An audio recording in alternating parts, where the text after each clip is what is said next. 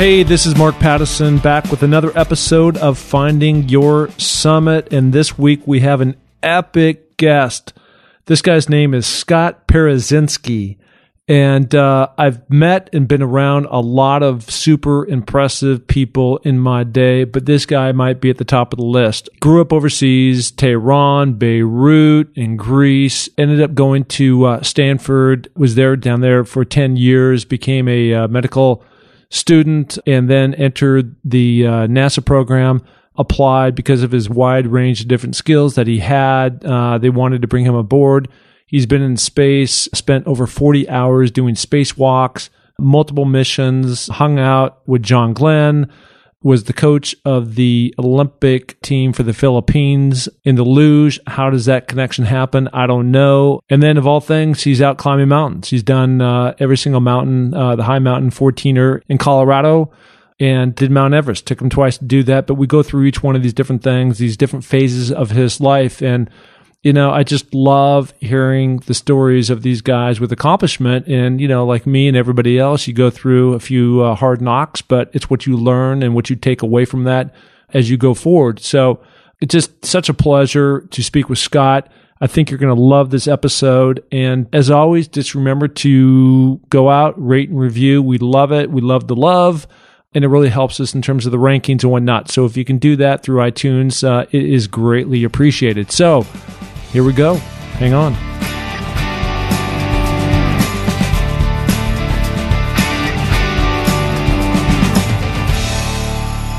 I'm talking to one of the most talented guys I think I have ever come across. And um, Scott Parazynski is with us. And just to give you a little setup, this guy is an astronaut, a medical doctor. He's climbed Everest.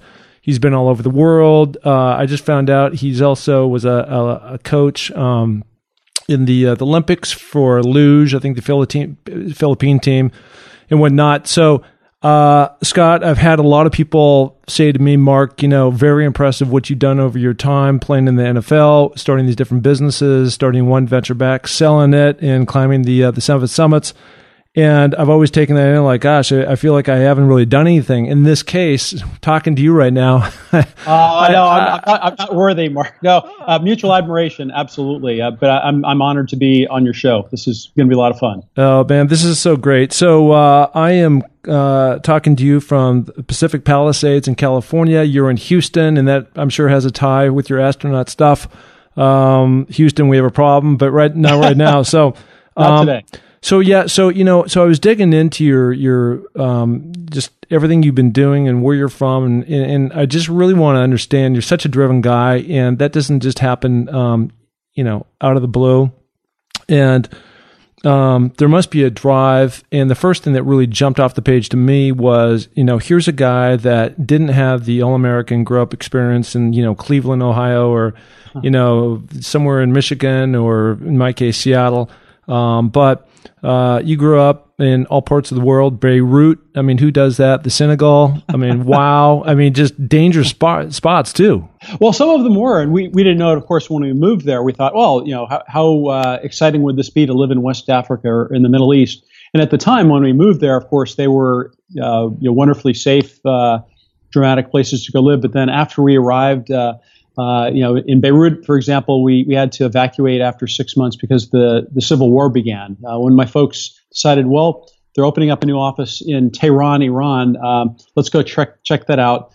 Uh, a few months after we arrived there, same thing happened. So a bunch of my friends actually joked they, they thought that my dad worked for the CIA because we were always moving to these places that you know trouble would would erupt. But uh, my dad assures me that that wasn't the case. So what did what did he do?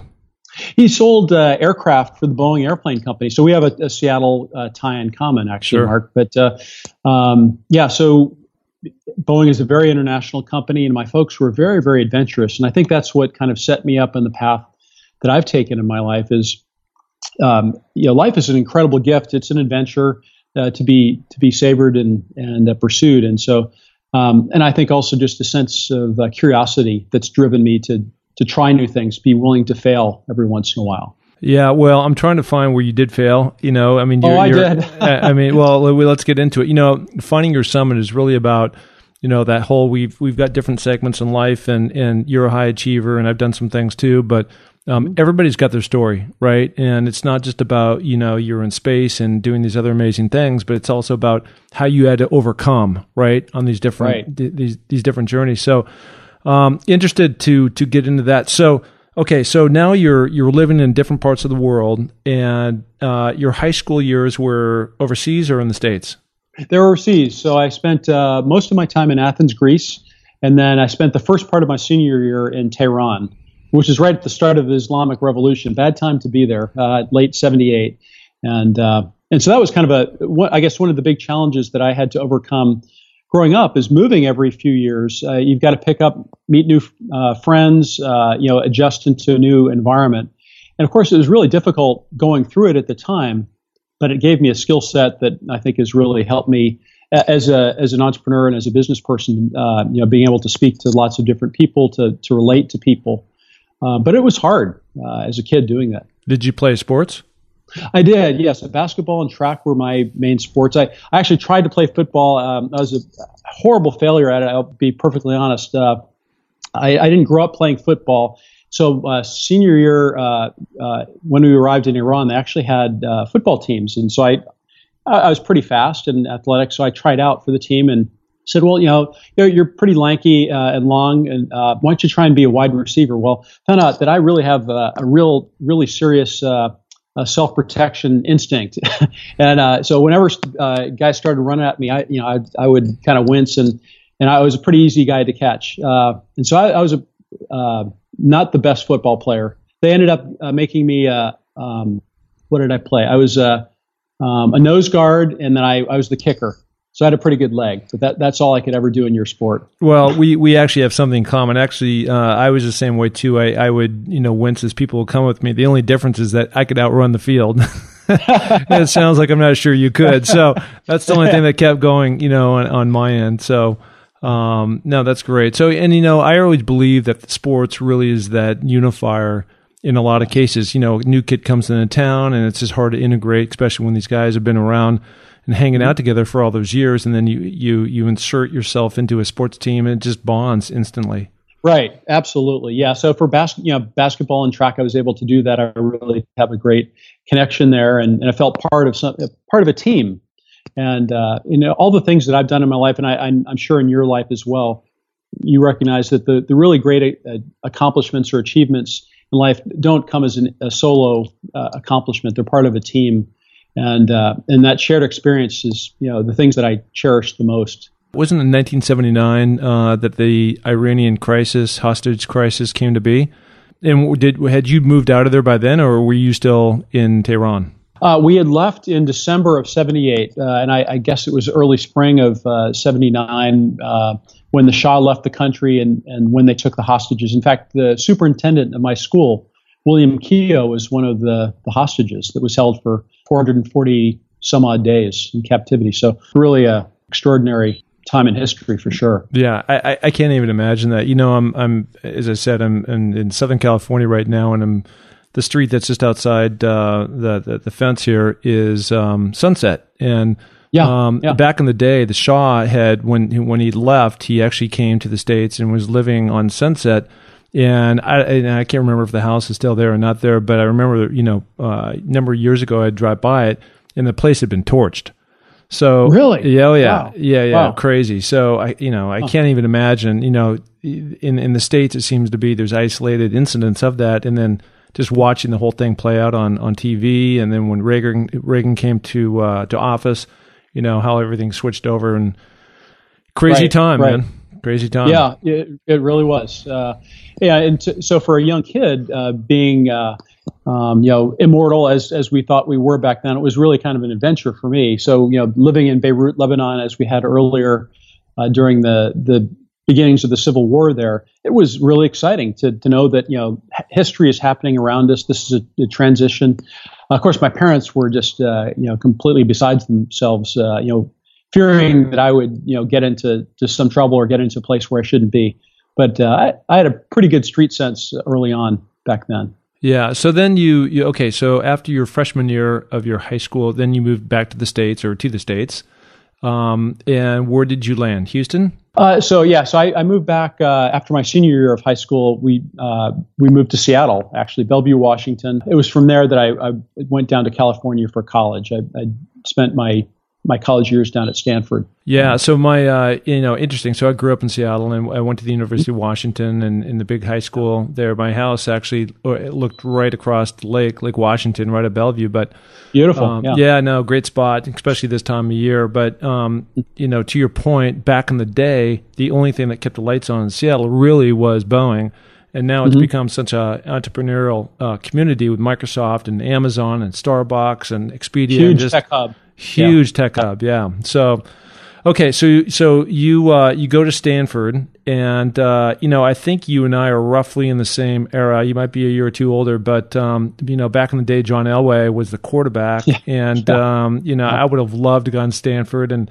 and that didn't play out that way. I, I had a scholarship offer to Cal, but uh, you know, Stanford with I'm Elway. glad you didn't go there. I'm glad you. I know that's your big rival. yeah, that, we don't. Yeah, we I wouldn't be on your show if you were a, if you were a, a Cal guy. I'm Cal Bear, yeah, no, I, I, can appreciate that. Well, I, I could see in the future way back when, and so that's the reason why I became a Husky, right? Yeah, so that's, that's, how that played out. But um, you know, Stanford, you know, it, it's interesting. I have this conversation a lot with my buddies, and um, I actually travel with UCLA. Jim Mora is my my best friend, uh, oh, the football wow. team, and I, I serve in a mentorship role with them, and and so you know the question for me, and it, it there is no right answer here, but you know besides all the top schools that are out there, the Michigans, the Alabamas, the LSU's, you know, Washington, USC, schools like that, UCLA, if there was one or two schools that you could take on your list that that you went to, right, or you got an offer to, and you would bypass going to maybe a school of higher stature in terms of football wise, where would you go? And you know, my answer for me are there's two there's two schools, one Stanford and the other one's Harvard. So, mm-hmm, mm-hmm. you know, I mean, yeah. there's just something about you graduate from there, it's on your resume, it just sets you up down the road.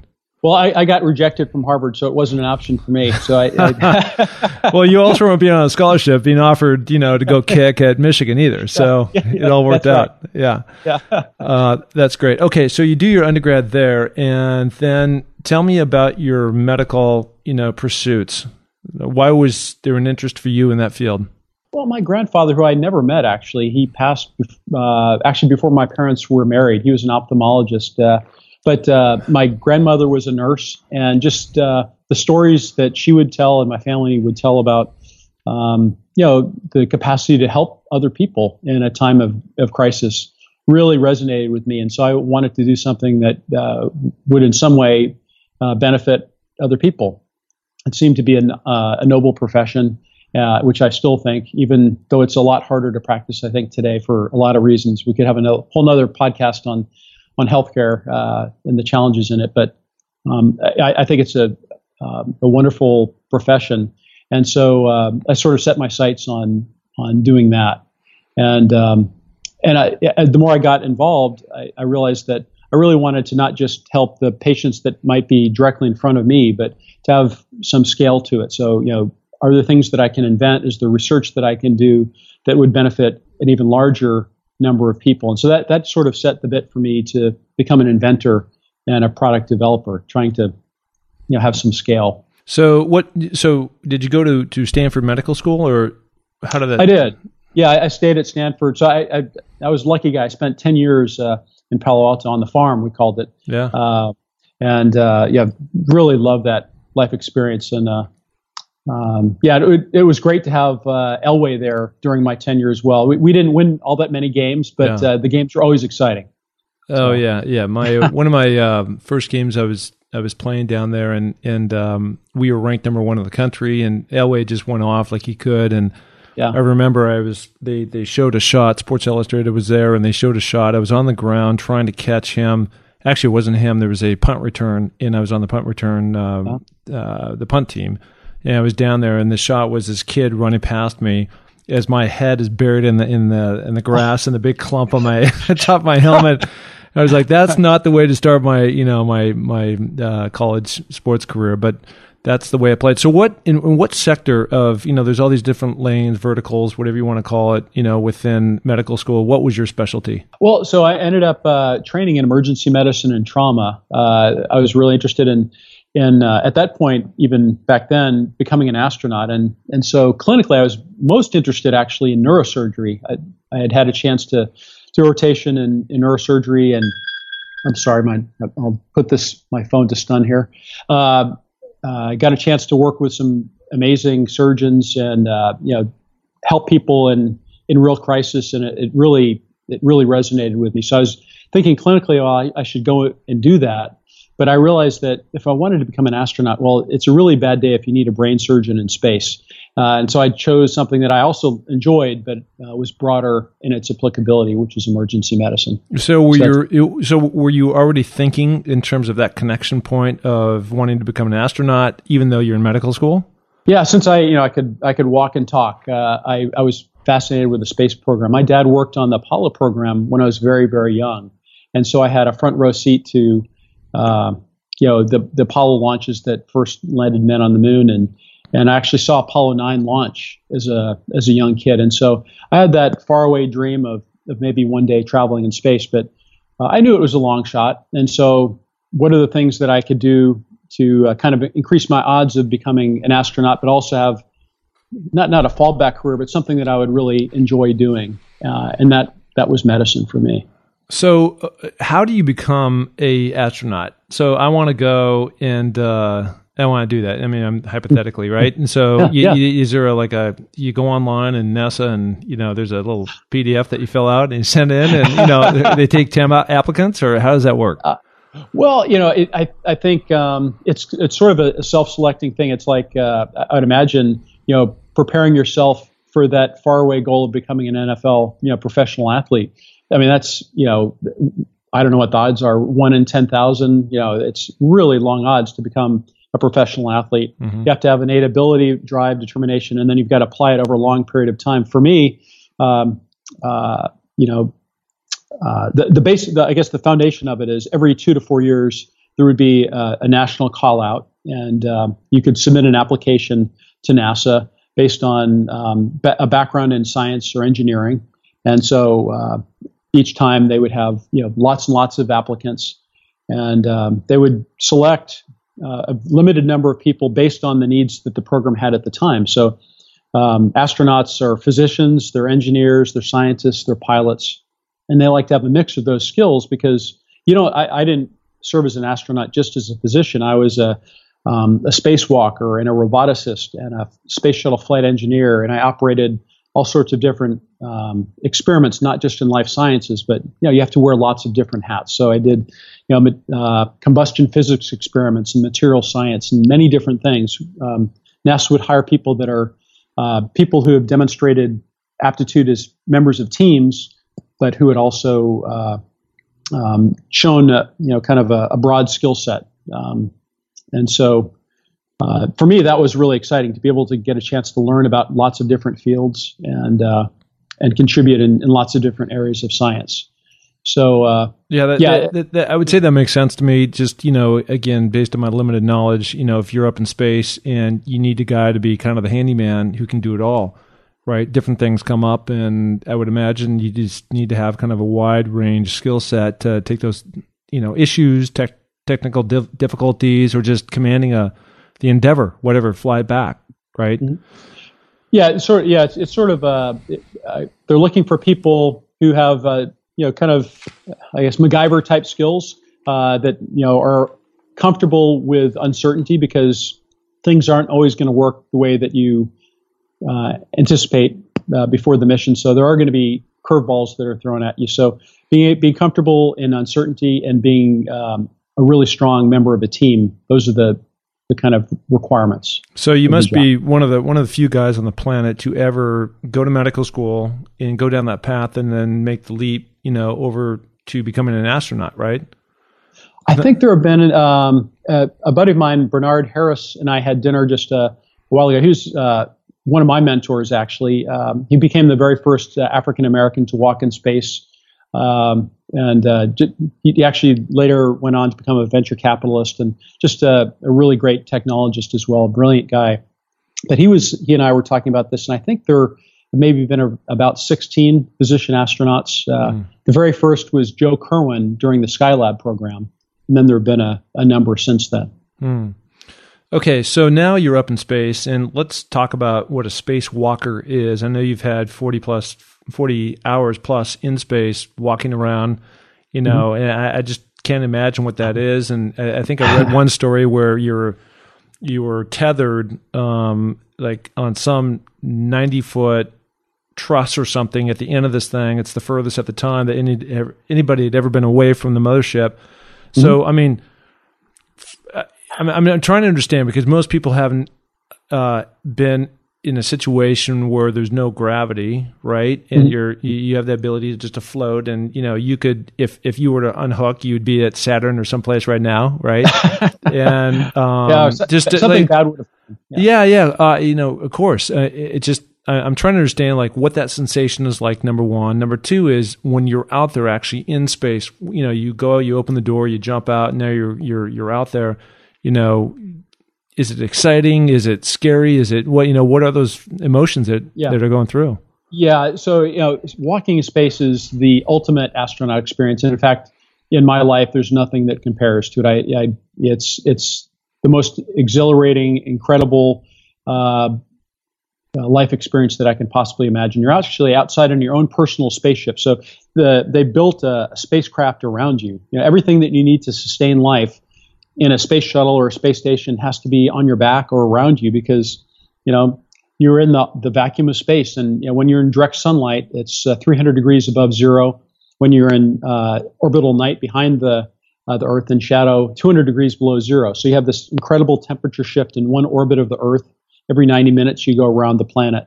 And uh, you know you're just looking through a thin visor uh, out at the enormity of the universe. And you're you're not really walking. You're actually crawling. You're holding on to handrails and propelling yourself around the outside of the space station, or as in the um, what you're describing, being out on the end of a robotic boom in a foot restraint. Your your feet are planted in in this boot plate, and they swing you around like on a cherry picker out to the very tip of the space station, and it's just a like an out of body experience. There's uh, no way to to really do the the experience justice. You know, to to see you know continents almost in a single glance, uh, to see uh, you know, uh, the, the southern lights uh, from that vantage point to actually fly through them in your spaceship. Um, it's it's crazy. It's it's just just so so beautiful. But you know, it's it's interesting. After a while, after training, that spacesuit becomes an extension of your body. So you, have worn all sorts of you know gear out in the field. Yeah. Um, I'm sure after a while, you don't even think about all the stuff that you got on you. Um, it just is part of your uh, your exoskeleton, and you just kind of go about your thing. And so, after a lot and a lot of training, uh, that kind of sensation happens too, and and you feel like you're just unencumbered, you know, zooming through the universe. It's it's pretty cool. Are are you actually hooked in somewhere on the? Yeah, right? so we, we have we have a, a safety tether reel. It's, it's a steel braid cable basically on a on a spring that's supposed to retract. On one of my spacewalks, it didn't retract, and they were concerned that I was going to get all tied up and uh, it could have been a really b- uh, bad day, quite honestly. But uh, um, we do have a safety tether reel that's always hooked to your uh, spacecraft, and um, even when you're out on the end of a robotic boom, you'll be tethered in some way, hmm. so that if you become uh, if you lost you know your grip on the space station, you could pull yourself back to safety. Hmm. And then we also have kind of a, a Buzz Lightyear jet backpack. So in uh, a really bad day, if our tether were to break or something like that, we could pull out. It's kind of like a an Xbox controller and fire some jets and fly ourselves back to uh, the space station. Yeah, you know this this reminds me a little bit, and I'm sure Hollywood you know makes it much more dramatic than what it what it really is. But there's a uh, movie with Matt Damon, and I can't remember, but they they they crash on Mars or someplace. And yeah, then the Martian. They, yeah, the Martian. Yeah, and then they all take yeah. off, and then he has to be this, you know, all these characteristics and attributes that sounds like you have, which is you know sustain life and make water and grow plants and all these different things, right? And trying mm-hmm. to figure out how he can stay alive until the ship can come back and rescue him. So yeah, great movie. I loved it. I, I, I, yeah, I love that movie. I, I think he did a great job, and it was just fascinating. On you know, I mean, if you put yourself in that position, what would you do? Right? Yeah, d- nothing is a greater motivator than uh, necessity. You know, and uh, and so that was a, a great movie that kind of highlighted uh, you know creativity and, and problem solving. Um, some of the some of the the the assumptions that went into that movie. Uh, it, it's a little bit tough for a guy like me to look at a movie like uh, um, Gravity or. Armageddon, where they kind of really stretched the bounds of physics and chemistry and things like that. But I thought The Martian was very, very well done. Really enjoyed it. What's that like to re-enter the atmosphere? Well, and the space shuttle is actually pretty benign. Um, you know, we we have uh, atrophy of our body even over a couple weeks in space, so we we don't have to work against gravity. We don't have to carry our bodies uh, upright. Uh, our heart doesn't have to pump against gravity either. So our our strength is actually uh, moderately reduced by the time we come back home, even though we exercise about 45 minutes every day. But uh, you know the, the G force on our body it's it's about 1.5 G's from our head down to our toes. So we wear a G suit that squeezes our belly and our legs that keeps the blood circulating in our system, so we can the pilots up front can land the space shuttle, and you feel reasonably uh, healthy after landing. It takes a little a, few minutes to, before your gyros kind of settle down and before you stand up and and try and uh, get out of your seat. The real challenge, though, is for the poor folks that come back for, from the International Space Station now. They've spent six or more months up there. My, my friend uh, Scott Kelly just spent 340 days up there. That's a long time without gravity. Yeah. And uh, they come back under four to five G's uh, of acceleration, really violent. Uh, you know, and, the, and the spacecraft is swaying underneath the parachutes, and, and then it, it slams down onto the uh, hard dirt of Kazakhstan. And uh, the most likely greeting uh, committee is uh, some camel herders, you know. So it's a it's a very different uh, kind of welcome back home when you Wow. fly in a Soyuz. So uh, you you've been on the Endeavour though, where it comes Yes. back from space, lands in where is that in California? Uh, I landed a couple times in California Yeah. at Edwards Air Force Base, and Yep. then three of my flights we landed at the Kennedy Space Center. Um, and we have a basically a, a five mile long runway there, and so that's how how we would come back home. How fast do you you flying when you come in? So uh, the equivalent airspeed is uh, Mach 25 or 25 times the speed of sound. So I mean, it, you're hurtling around the planet at 17,500 miles an hour, and what we do is we slow the the ship down slightly to then uh, start to interact with upper reaches of the atmosphere. And We kind of slam through the the atmosphere using the tiles on the belly of the orbiter, and that's why we feel the one and a half G's. We're kind of coming down through the atmosphere, and it, it creates this fireball outside. It's a really brilliant orange. It's, it's an incredible view out the windows. Um, but then after that, once we're um, you know down into the thicker parts of the atmosphere, the aerosurfaces of the the shuttle start to move again. We can use the ailerons and and uh, the elevons and, and the rudder, and uh, we use a speed brake to also slow down. So it, it's coming uh, more like a glider than uh, anything else, but it's it's uh, a glider that flies more or less like a piano or a brick. I mean, it, it has very uh, limited lift over drag, so it's coming down very, very steeply, very, very fast, about 300 knots on uh, on short final, and uh, about uh, 2,000 feet above the ground. Uh, the the commander will nose the the shuttle up a little bit, and then we'll lower the, the landing gear. We land at about 200 knots, which is much faster than even fighter aircraft have. Um, so you, you're really zooming. Yeah, well, I, I can't imagine there's a, uh flight attendant that's offering you a cocktail and peanuts or something on that every entry, right? No, you're on your own. understood, understood. Hey, last uh, space question here. So, um, you know, I, I admire and look up to you know people who have gone before me uh, always, and uh, um, a guy that I'm not sure if he was a mentor to you or just a guy that you happen to you know interact with, and um, certainly he, he gives you an endorsement on your book, which is called "The Sky Below." Um, John Glenn, what's he like? Yes. Oh my goodness. Well, he, he- one of the greatest Americans of our time. Uh, you know, I miss him dearly. He uh, he and I uh, really got to know each other when he came back to fly aboard the space shuttle at age 77. So this is a guy that you know was my boyhood hero. Um, you know, he was the very first American to orbit the Earth. Um, President Kennedy actually told him, "You're such a national icon, uh, you can't fly again." And uh, he took the hint and what are you what are you going to do? Well, he reinvented himself. He became a politician, served you know nobly for uh, four terms in the United States Senate. Even uh, was a contender for the presidency at one time. Uh, I won't get into politics. Uh, uh, stay away from that taboo subject. Uh, Yep. That's a topic for another uh, uh, Or a different show? time. a different show. There you go. There you go. Uh, but re- just a wonderful man. And uh, one of the things I really admired about him deeply is his his humility and um, his uh, willingness to to just chip in and be one of one of the crew. Um, he he was of course uh, yes revered by all of us. Uh, but when he first came into our office uh, as the crew was assigned, um, he said to all of us, "If any of you guys call me Senator Glenn, I'm going to ignore you. I'm just John or payload specialist number two. He didn't want any any fanfare, uh, any special attention, and he wanted to contribute to even just the simple housekeeping chores around the space shuttle. Um, he didn't want to just be on the flight to do his science. He wanted to chip in and do everything that he could to help the mission be successful. So, just a, an incredible role model, not only to me as a boy, but also as a um, uh, much older now uh, um, retired astronaut. You know, we can contribute uh, significantly uh, throughout our the course of our lives. And so, you know, John uh, took great risk at age 77 returning to space, but he did so because he wanted to uh, further science.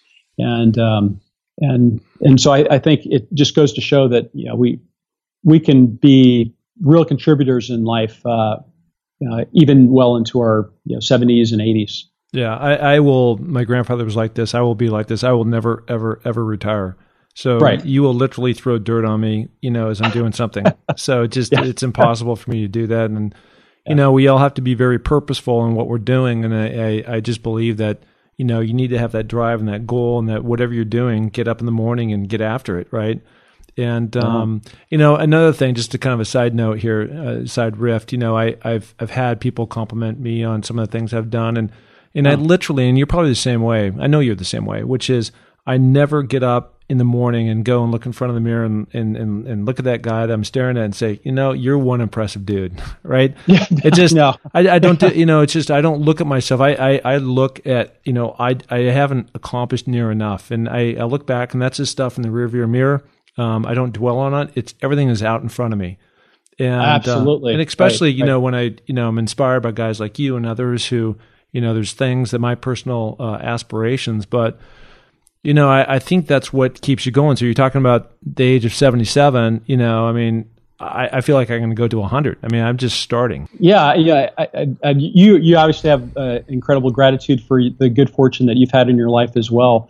And so for me, uh, it's kind of like, uh, you know, how how can I earn the oxygen that I, I breathe? You know, how can I pay it forward? Um, I've been very very fortunate in my life, and and I want to continue to contribute to society in the best ways that I can, and trying to find the the best you know areas for me to focus my energies. But yeah, I'm just so grateful for everything that you know. First off, I, uh, uh, I'm very grateful that I was born an American, uh, live you know to be in a country that dreamed big and had the opportunities for me to pursue my ultimate dreams of you know flying in space and and so a country that takes big risks and you know is willing to um, to invest in things that are important for for humanity and I, I hope we don't lose lose that uh, spirit. That that I think is part of the the American fabric.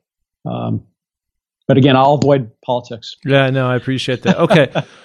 uh, just you know, we could I could spend like literally another hour talking about space with you. It's so fascinating to me. Um, uh, but I want to jump over into your mountain climbing pursuits. Right. So you're a guy who's climbed Everest. Took you uh, two times to get up, and you've climbed, I think, all 53 14ers in Colorado. Does that sound right? Yeah, yeah, I, have climbed. Uh, the, the, lists are vary, but uh, they somebody decided, well, there are actually 59 if you count these sub peaks, and so. Uh, being a little bit anal retentive, I said, "Well, I've got to climb those other six too." So I, I went, I went and topped out on those those peaks as well. But so it's just it's amazing way to see the state of Colorado. Oh yeah, yeah. I, I there's I don't need to do all 53 or 59 in, in mm-hmm. as you described it, but um, there are definitely some that I, I, I, have on my bucket list. I want to get to Colorado and do. Beautiful state, yeah. of course. Um, let's talk about Everest, right? So tell me what that was like for you. And uh, I'm planning to do Everest in 2019. And mm-hmm. um, I've had a lot of buddies growing up, as you know, in, in the state of Washington, very um, yeah, there's a huge climbing community up there and whatnot. I spent a lot of time on all those different mountains, um, Rainier and others. And um, anyways, I've had my sights set on this, so I've been kind of slowly going through the seven and uh-huh, uh, getting uh-huh. closer to that goal. So tell me what that was like for you to to to be on Everest and the whole experience.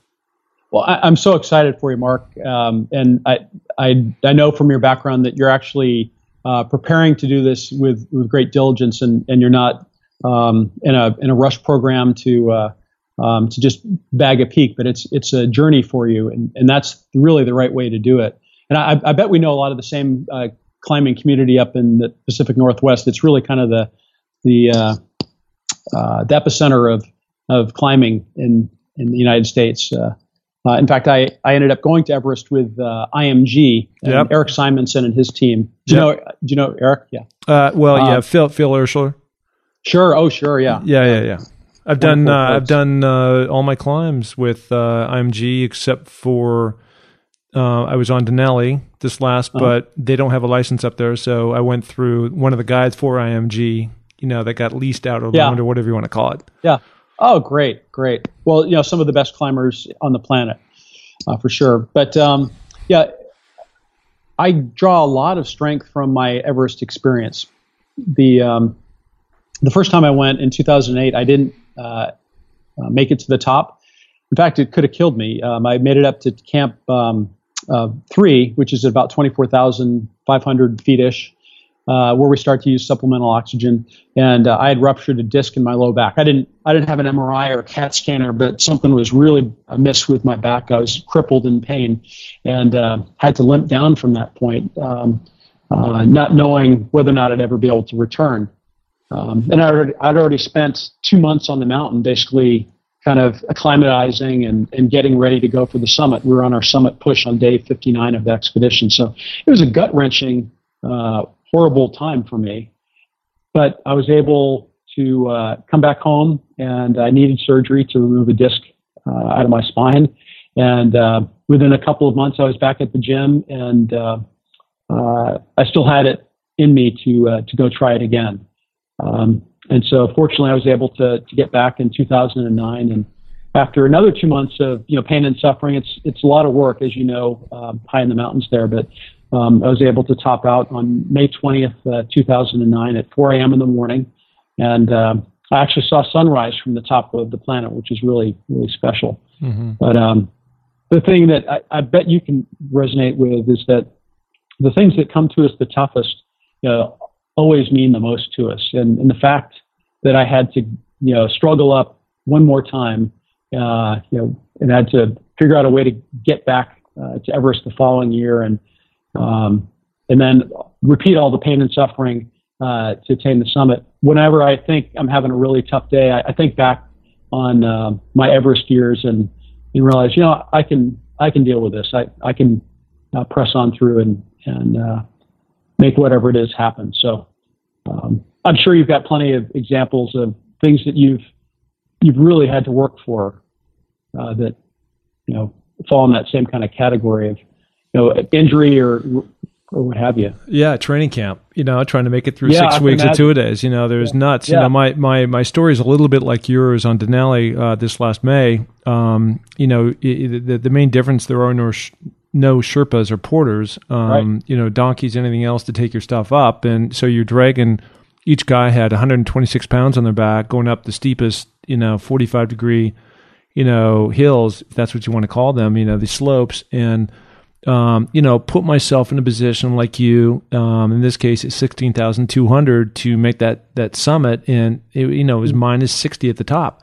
And it's either Ouch. two things, as you know, it's either going to be death or you lose fingers or toes. And, you know, that's not an option. So, not worth uh, it. No, not worth it. So, you know, Mother Nature won on that round, and just like it did, it sounded like it was a little bit more physical for you. Um, but it, it, the, the common thread there is just that the amount of work it took to get to that point, you know, all the time spent on the mountain.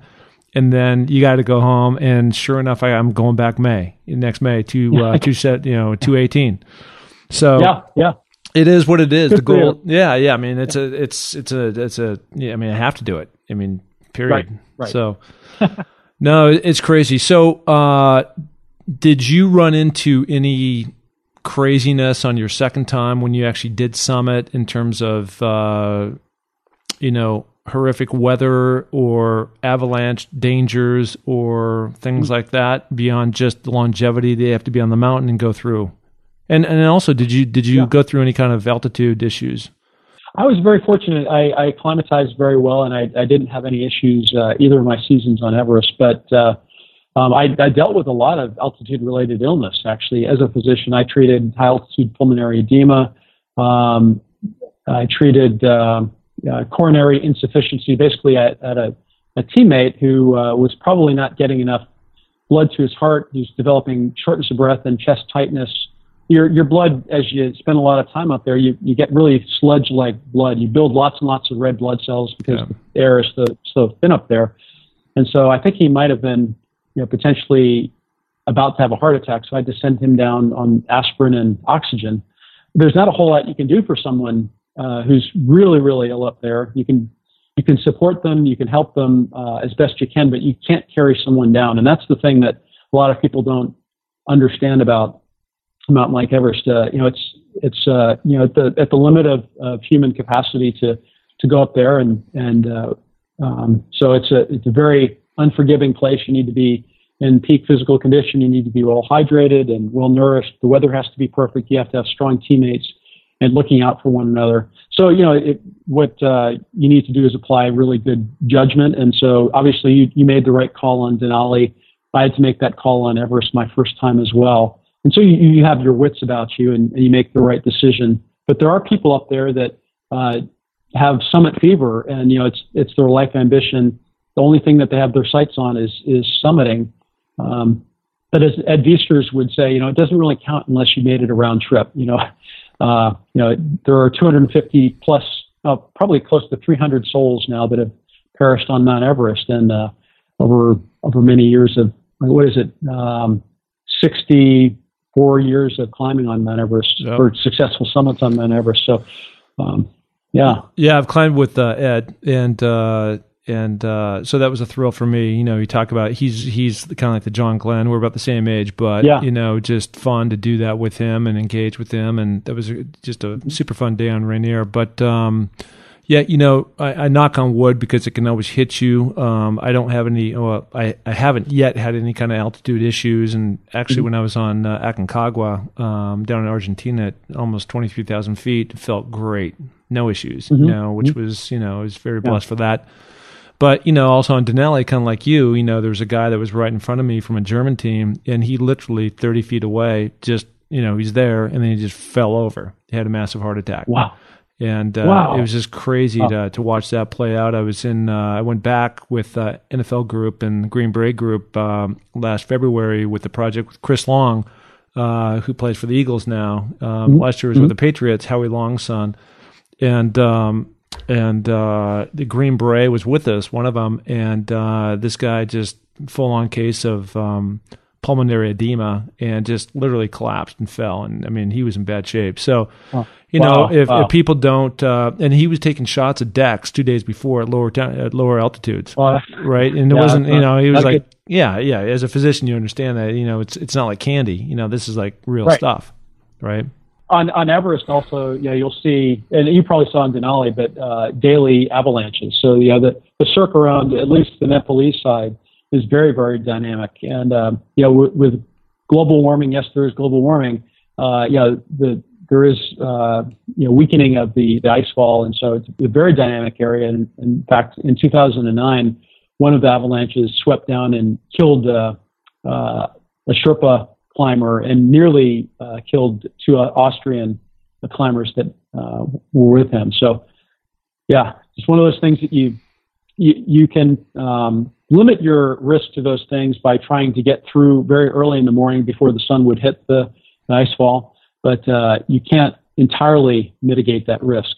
Yeah, no, right on. I, I got to tell you, for the listeners who who obviously you can hear but you can't see, and Scott and I are doing this via Skype, and uh, there's a video chat, and you actually look right now a little bit like I'm talking to you at the space station, all the way up there. So it's kind of fade in, fade out. But I want to transition. Yeah, no worries. Um, you know, kind of the last point here. So, uh, so grew up in the Northwest. and did a lot of climbing. And five or six years ago, I was going through a really tough time um, in my marriage and my relationship, and you know, certainly driven in a certain way. And I need to go refill my bucket in a way that's going to give me some joy and some happiness. And so, you know, that's where this whole Seven Summit thing came about. And I wanted to become the first NFL guy to do that. And you know, mm-hmm. all these other things have now come out of it, like this podcast. But you know, for me, it was just a a nobody in the history of my family had ever been divorced, and you know, for me to be that first guy, you know, it was just was humbling and hard and everything else. And so again, you know, we we everybody's got their their, their thing. Um, again, we call this this podcast "Finding Your Summit," and for me, that was metaphorical in the sense of going through a rough personal time, which led me to the mountains, which led me to a lot of clarity and um, peacefulness in terms of being out there and there's no social media and phones and whatnot. Right. Um, yeah. And and I, I, I, you know I I don't want to touch too far on this if you don't want to go there, but it sounds like you had some similar experience um, with your first wife, and now you're happily yeah. married to your second. But um, you want to talk about that for a minute? Yeah. yeah well, yeah. So um, again, talking about you know failures in life, we we we learn from them, and and uh, they, they shape who we are. It's it's easy to manage success, but uh, it's how you you you uh, work through the, the failures that kind of define who you are. And, and uh, so certainly one of the, the, uh, the toughest moments or periods of my life was actually uh, the dissolution of, of my first marriage. Uh, um, I have two beautiful, wonderful kids. my, my daughter Jenna is actually autistic, and that adds a degree of, of challenge and difficulty, but she's an incredible joy in, in our lives. Um, but uh, yeah, it's uh, uh, I, I, do talk about um, uh, that period of my life in in a, in a bit of detail. Um, but really, my, my book is uh, uh, I don't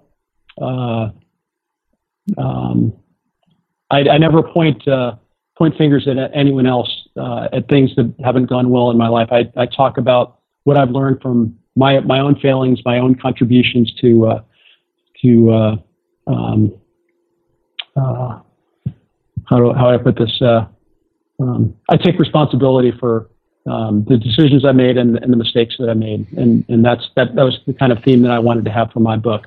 Yeah, I mean, look, we're we're we're in some sense, I think, two birds of the same feather, and and I, I agree with that, and I, I just don't I don't believe that that people that play the victim role right? I mean, I take full responsibility for the part that I play. It takes two always, and um, whether it's that or a business I've started, um, and things don't go right, you got to take responsibility. And and like yeah. you said, it's it's it's the things that you learn that you you you take away, and your next venture and your next thing, and better perspective and insights and vision.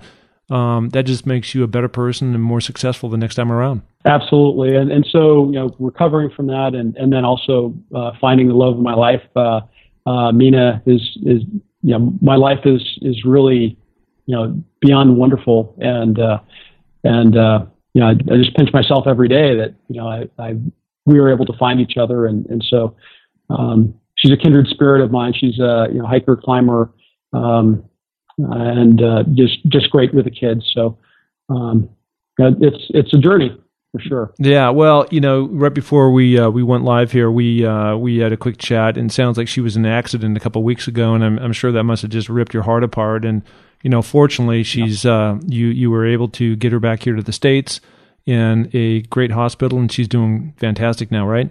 She's doing amazingly well. She was out. Uh, she's a planetary scientist, and so she was doing field research in Iceland, uh, very, very remote Iceland, and was involved in an automobile accident. She's the backseat passenger and was ejected from the car. Horrific uh, kind of potential for for injury. Ended up with a, a, fractured pelvis and many other fractures, and was life flighted to Reykjavik. And we eventually got her to Mass General Hospital in Boston, where she had uh, definitive surgery. And now I've got her back home here in Houston in a, in rehabilitation and physical therapy. And she'll she'll be back in about uh, you know six months, back uh, you know running. And she's already decided she wants to run a half marathon. And uh, get back into doing triathlon. So I, you know, you know, watch out. Yeah, yeah. Sounds like she needs to be on this podcast. What a what a great, she does. remarkable yeah, person. Yeah. yeah, yeah. So, well, uh, listen. Um, I want to let everybody know again. Scott Parazynski and his book is this. Yeah, sorry. And then the the book is Sky Below. Uh, Scott is such a remarkable guy. And um, thank you so much. And I will throw out an invite uh, for you to be on my Denali uh, expedition next May if you're uh, game for that. I, you might I might take you up on that. That would be wonderful. I I, I made it up to 18k on uh, Denali when uh, I had to turn back for uh, for winds and weather. So it's still on my bucket list. Maybe, Yeah. maybe we'll go do that. We need to get that done. Jim great. Mora, Jim Mora will be on that climb too, so it'll be a lot of fun. Scott, thank you so much. Really enjoyed it. Thanks a lot, Mark. Thank you so much for tuning in to the podcast this week. We had another great guest, and it is so awesome to continually have these different people on, talk about their different adversity, how they've overcome that, and what they've done to affect change in their life to become very successful. So, really appreciate you guys tuning in. As always, we love the rating and reviews that you guys do on iTunes. If you haven't done that, please go do that. It really helps us in terms of increasing our visibility within iTunes anyways, it's just fun to share the love and uh, what these different stories, these different people are all about. So make sure you tune in next week. We appreciate it. And that's it. Bye.